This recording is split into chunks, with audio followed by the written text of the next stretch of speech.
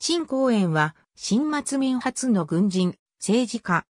北京政府、直令派の有力軍人で、李順、王、占い元と共に、長江三徳と呼ばれた。字は修法。天津武美学堂を卒業し、武英雄軍で大官として軍歴を開始した。1902年、北洋常備軍軍政思想務所総弁に就任する。後に、北洋第四鎮第八教頭領に移動した。1911年の武将起義では、表国省の下で革命派の討伐に向かい、第四鎮統制に昇進した。ところが、第四鎮の一部が兵変を起こしたため、それを問われて罷免された。1912年、陸軍中将権総統不思議官として復帰した。1913年、熱下準防衛統領権レッドパイク鎮守市に移動する。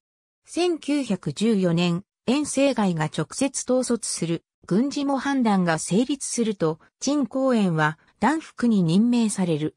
さらに、新編陸軍第12師市長権模範団特連に就任した。1915年12月、円が皇帝に即位すると、陳は一等子爵に封じられた。1916年6月に、円政外が死去すると、陳公園は直令派に加わるようになった。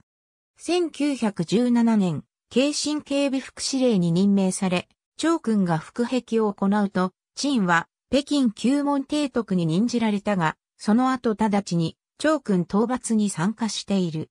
兵国省が代理大総統に就任すると、陳は厚生特軍に任命された。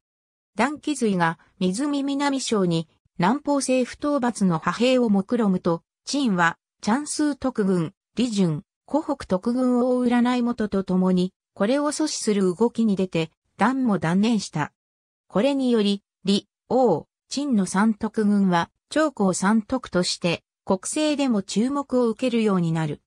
しかし1921年、厚生省内の各階層から陳公園の統治に対する反対、運動が起き、陳はゲイアに追い込まれた。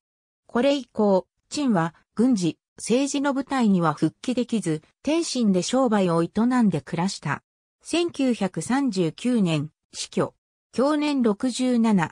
ありがとうございます。